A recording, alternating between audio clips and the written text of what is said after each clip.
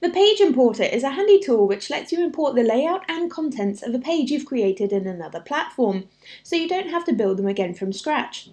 Please note this feature is designed for static text and images only.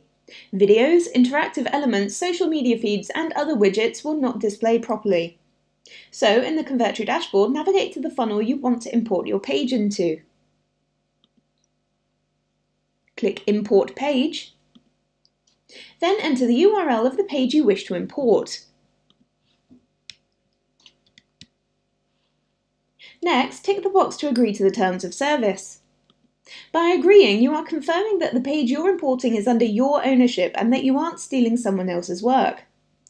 Enter a name for the page and click Import.